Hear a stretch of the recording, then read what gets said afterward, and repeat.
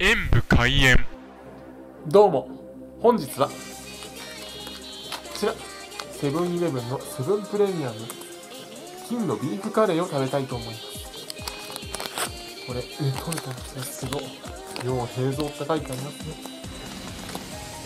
それだけデリケートな商品ということなのでしょう。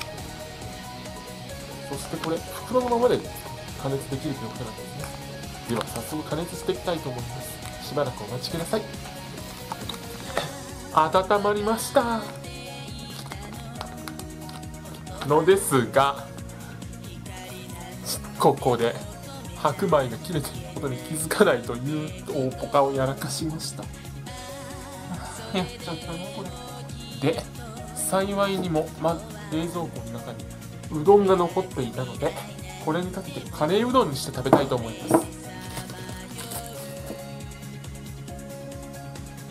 では気を取り直してかけてみます。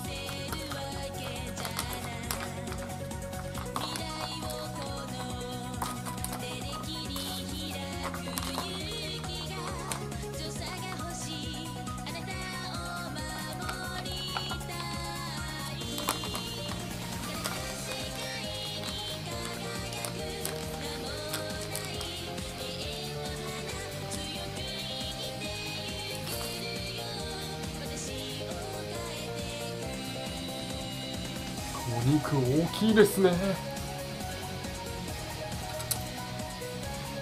ではいただきます。ここまでのお肉は今まで食べたことがありません。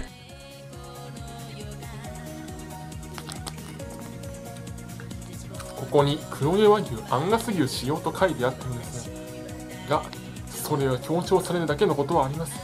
お肉はあれだけ分厚いのに口の中でスッととろけてその肉のうまみが口中に広がってスパイシーで刺激あるカレーとともに口の中を温めてくれてとっても美味しかったです。お肉だけでなくちょっとヒリヒリ今来てますけど。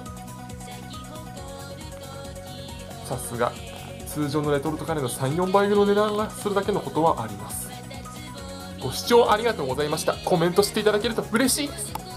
パソコンおよびスマートフォンのアプリの方はクリックをお願いします。